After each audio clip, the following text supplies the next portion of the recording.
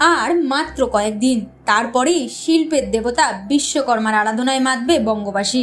গত দুবছর করোনার উপস্থিতিতে নম নম করেই পুজো সেরেছেন অনেকে। ফলে চরম সমস্যায় পড়েছিলেন মৃৎশিল্পীরা। এবারের পরিস্থিতি অনেকটাই বদলেছে, তাই আশার আলো দেখছেন বিশ্বকর্মার কারিগররা। বায়নাও এসেছে ভালোই। বিগত দুটো বছর এরকম, সেরকম কিছু বিক্রি হয় না বড় বড় গেরাইগুলো পুজো হয় না, তারা যন্ত্রপাতি আর এসব পুজো করেছে। কি অবস্থা ছিল? আগের বারে যখন ঠাকুর তৈরি করেছে আগের বারে থেকে আগের থেকে অর্ডার পড়ে না এবারে যেটা অর্ডারটা পড়েছে আগের বারে অর্ডার পড়ে না এমনকি তারপর বিষ্ণুপূজার দিনে সকাল পর্যন্ত বিক্রি করতে হয়েছে। এবার কতগুলো অর্ডার পেয়েছেন? এইবারে মোটামুটি একুশটা ঠাকুর করেছি তার মধ্যে ষোলোটা অর্ডারই আছে। কি মনে হয় কতটা লাভের মুখ দেখতে পাবেন? লাভের মুখ মানে নিজেদের বেতনটুকুই বেরোবে। কেন? এটা কেন হয়? না, আমাদের শিল্পী তো বটে আমাদের এক মাস ধরে খাটাখাটি করছে একটা মানুষের বেতন তো আছে রাত দিন খাটছি।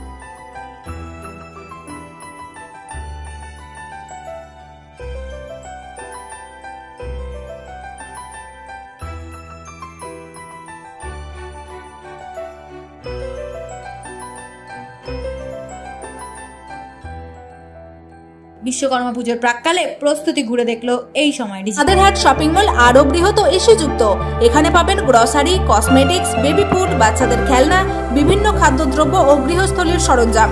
কম দামে উন্নত মানের জিনিস পেতে আসতেই হবে হাট শপিং বলে হাজার টাকা কেনাকাটা করলেই পাবেন গিফট কুপন থাকছে আকর্ষণীয় উপহার। প্রোপাইটার রিয়া চৌধুরী ও মোহর আহমেদ। ঠিকানা কামারপুকুর চটি, গোঘাট দু নম্বর বিডিও অফিস সন্নিকট। কিওর অ্যান্ড কেয়ার ফিজিওথেরাপির রিহ্যাবিলিটেশন সেন্টার। একই ছাদের নিচে উন্নত মানের ফিজিওথেরাপির একাধিক পরিষেবা পেতে যোগাযোগ করুন। মহিলা ও পুরুষদের পৃথক পরিষেবা দেওয়া হয়।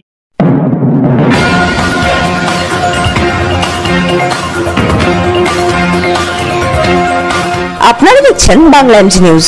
আমরা সত্যি চাপি না, সত্যি ছাপি please like and subscribe our channel for further updates.